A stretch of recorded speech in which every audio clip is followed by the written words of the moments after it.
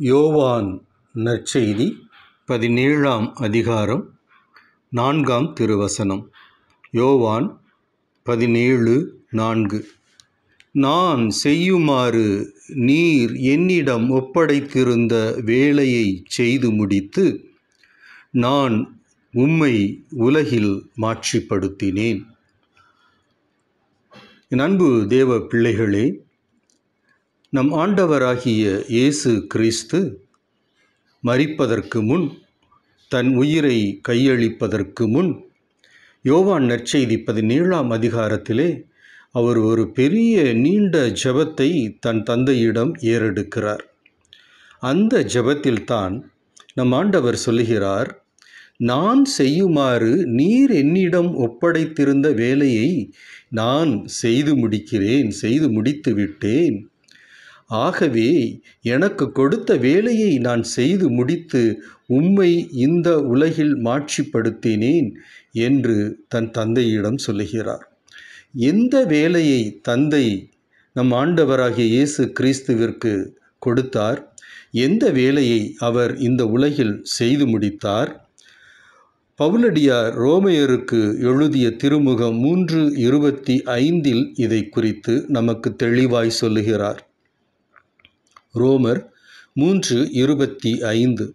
இரத்தம் சிந்தி மனிதருடைய பாவத்திற்கு கழுவாய் ஆகுமாறு இயேசுவை கடவுள் நியமித்தார். தந்தையாகிய கடவுள் தம் மகனை இந்த உலகிற்கு எதற்கு அனுப்பினார்? எந்த திட்டத்தோடு அனுப்பினார்? எந்த பணியை கொடுத்தார்? இரத்தம் சிந்தி நம்முடைய பாவங்களுக்கு கழுவாயாகி கல்வாரி சிகரத்திலே தனது ஜீவனை பலியாய் கொடுக்கும்படி அவர் அனுப்பினார். அந்த பணியை அவர் செய்து முடித்தார்.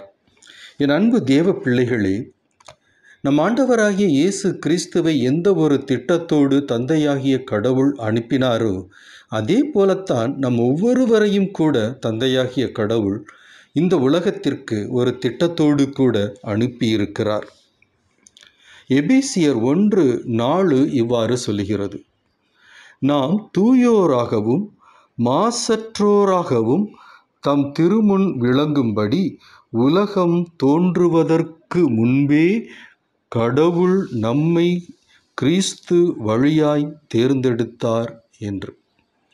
நாம் எதற்காக இந்த உலகத்திற்கு வந்திருக்கிறோம்? எதற்காக நம்மை தேர்ந்தெடுத்திருக்கிறார்? அதுவும் கிறிஸ்து வழியாக தெரிந்தெடுத்திருக்கிறார். நாம் தூயோராகவும் மாசற்றோராகவும் இந்த உலகத்தில் வாழும்படியாய். மீண்டுமாக எபேசியர் இரண்டு பத்து சொல்லுகிறது நாம் கடவுளின் கை வேலைப்பாடு நற்செயல் புரிவதற்கென்றே கிறிஸ்து இயேசு வழியாய் படைக்கப்பட்டிருக்கிறோம். ஆகவே இந்த உலகத்தில் நாம் எதற்காக படைக்கப்பட்டிருக்கிறோம்? எதற்காக தந்தையாகிய கடவுள் நம்மை அனுப்பியிருக்கிறார்? நம்மை குறித்ததான திட்டம் என்ன என்றால் இந்த உலகத்தில் நாம் தூயோராக மாசற்றோராக வாழ்ந்து நற்செயல்கள் புரிய வேண்டும் என்பதுதான் கடவுள் நமக்கு வைத்திருக்கிற திட்டம். இந்த உலகத்தில் நாம் தூயோராகவும் மாசற்றோராகவும் வாழ்ந்து நற்செயல்கள் புரிந்து வாழ்வோம் என்று சொன்னால் நம் ஆண்டவராகிய இயேசு கிறிஸ்து எப்படி தன் தந்தையை நோக்கி சொன்னாரோ நான் செய்யுமாறு நீர் என்னிடம் ஒப்படைத்திருந்த வேலையை செய்து முடித்து நான் உம்மை உலகில் மாட்சிப்படுத்தினேன் என்று சொன்னார் அல்லவா? அப்படியாய் நாமும் கூட நம் தந்தையாகிய கடவுளை நோக்கி நாம் நிச்சயமாய் சொல்ல முடியும்.